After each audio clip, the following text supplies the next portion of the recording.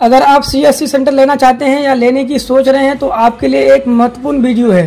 क्योंकि अगर आप सीएससी सेंटर लेने के लिए ऑनलाइन अप्लाई करना चाहते हैं तो आपके पास एक कैंसिल चेक होना चाहिए। क्योंकि आपको कैंसिल चेक अपलोड करना होगा। तो कैंसिल चेक कैसे बनाया जाता है, चलिए मैं आपको कंप्लीट डिटेल से बता देता हूँ।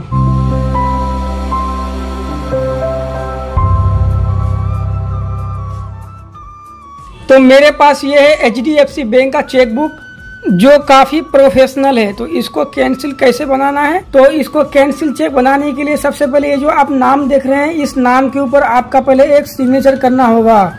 इस तरह एक आप सिग्नेचर कर लेंगे। उसके बाद बीच में आप यहाँ एक लाइन इस तरह ड्रॉ करेंगे और यहाँ पे लिख देंगे cancelled C N C E L L E D cancelled तो ये देखिए, आपका चेक बिल्कुल ही रेडी है। इसी तरह कैंसिल चेक को बनाया जाता है। आपको डेट भी नहीं फिल करना है और इसमें कुछ भी नहीं भरना है। बस इस तरह एक आप लाइन ड्रॉ करेंगे और यहाँ कैंसिल लिख देंगे। और यहाँ पे एक सिग्नेचर कर देंगे। कैंसिल चेक आपके पास इसलिए मांगा जाता है ताकि आपका बैंक अकाउंट डिटेल्स को वेरीफाई कर सके और आपका सिग्नेचर को भी वेरीफाई कर सके। आई होप कि आपको वीडियो काफ़ी पसंद आया होगा।